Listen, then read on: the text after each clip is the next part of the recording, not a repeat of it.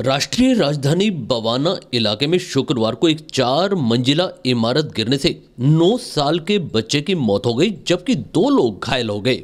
अधिकारियों ने बताया कि मलबे में एक व्यक्ति फंसा हुआ है। उत्तरी दिल्ली में शुक्रवार को एक चार मंजिला इमारत के गिरने से दो लोग घायल हो गए, जबकि पाँच अन्य के मलबे में दबे होने की बात कही जा रही है। दिल्ली दमकल सेवा के प्रमुख अतुल गर्ग ने बताया कि उन्हें दोपहर लगभग पौने तीन बजे घटना की जानकारी मिली थी जिसके बाद दमकल की चार गाड़ियों को मौके पर भेजा गया। इस बात की पुष्टि करते हुए अब तक कोई हताहत नहीं हुआ है। उन्होंने बताया कि एनडीआरएफ की टीमें तुरंत मौके पर पहुँच गई थी। इस दौरान घटना स्थल पर आला अधिकारी भी पहुँच गए। बिल्डिंग गिरने की अभी कोई ठोस वजह सामने नहीं आ पाई है। जानकारी के मुताबिक घटना स्थल राजीव रत्न आवास से जाना जाता है, जहाँ 300 से 400 फ्लैट बने हुए हैं।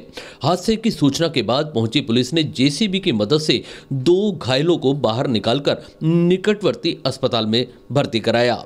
उसके बाद भी वहाँ पाँच लोगों के दबे होने की आशंका के चलते रेस्क्यू ऑपरेशन लगातार चलता रहा। जानकारी के मुताबिक रूकिया खातून व नौ साल की सहनाज देर तक मलबे में दबी हुई थी। उसके अलावा तीन लोग और भी मलबे में दबे हुए थे, जिन्हें बचाने के प्रयास लगातार जारी रहे।